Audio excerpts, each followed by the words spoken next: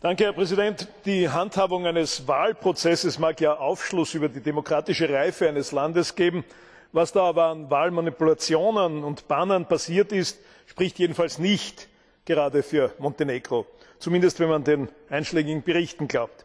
Fest steht, dass Podgorica sein lange Zeit so engagiert verfolgtes Ziel der EU Mitgliedschaft offenbar ein wenig aus den Augen verloren hat. Ein ganzes Jahr lang war das Land ja fast ausschließlich mit Wahlen beschäftigt, zuerst mit den Parlaments und dann mit den Präsidentschaftswahlen.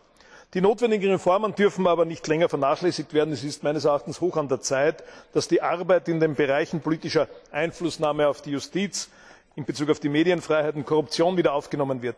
Es ist wichtig, dass Montenegro weitere Anstrengungen zur Erreichung der EU Standards in den Bereichen Justiz, Korruptionsbekämpfung und Minderheitenschutz unternimmt. Nur so kann es sich seine europäische Perspektive erhalten.